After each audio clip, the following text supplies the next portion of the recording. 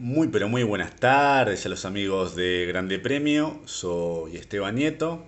Estamos en una nueva edición de GP a las 10 y en esta oportunidad vamos a hablar un poco sobre Wang Zhou, piloto chino de Alfa Romeo, que también es el único novato que tendrá la temporada 2022 de la Fórmula 1. Bienvenidos.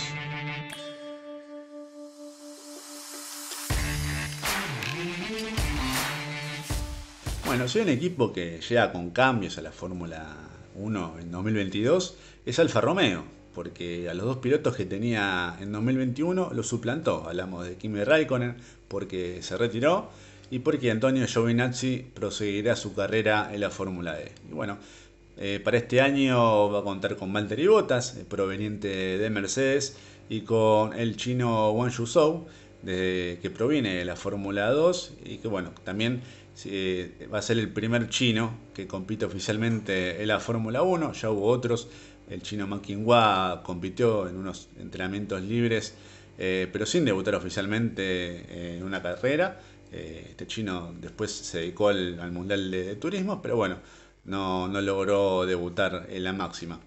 Eh, por respecto a Zhou, es un piloto que, como decíamos, proviene de la Fórmula 2, clasificó tercero en el campeonato, eh, después de que el título se lo llevara Oscar Piastri, que es el piloto reserva de McLaren y de Alpine para este año, un piloto que tiene un futuro enorme en la Fórmula 1, pero bueno, no consiguió butaca para esta temporada. bueno, después también eh, un campeonato que tuvo como escolta al ruso Robert Schwarzman, un piloto que también forma parte de la Academia Ferrari.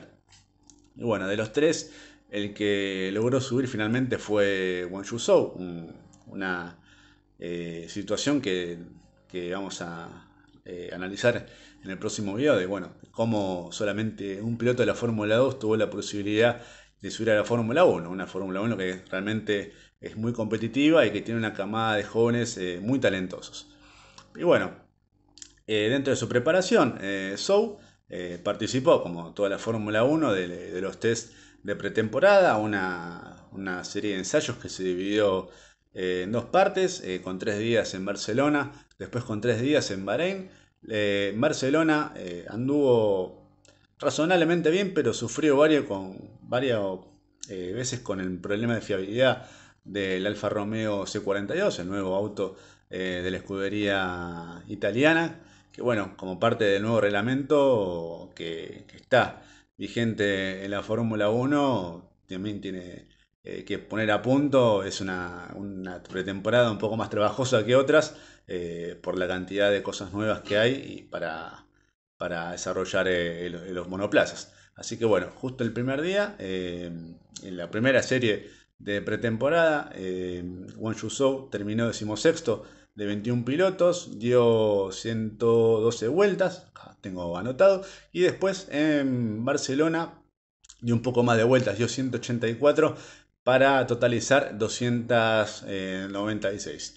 Y bueno, de cara a principio del campeonato, cuenta con, el aporte de Valtteri Bottas, eh, el finlandés que proviene de Mercedes, de ser el escudero de Lewis Hamilton, que bueno, ya, ya admitió que y, dijo que, no tiene ningún, ningún problema en ayudar en el crecimiento de Wang Zhou, a adaptarse a la categoría, a hacer uno más y, tratar de obtener buenos resultados en este primer año que tiene eh, la máxima. Y bueno, también le ayuda un poco la coyuntura, teniendo en cuenta que, si bien este año la Fórmula 1 va a correr en China, sí tiene mm, contrato la carrera para 2023 hasta 2025, por lo que es un mercado que también será la Fórmula 1 de casi 1.500 millones de personas. Así que Wang Zhou está en una situación inmejorable para desarrollarse dentro de la categoría, pero bueno, también tendrá que mostrar sus habilidades en una Fórmula 1 que muchas veces es una picadora de carne para los novatos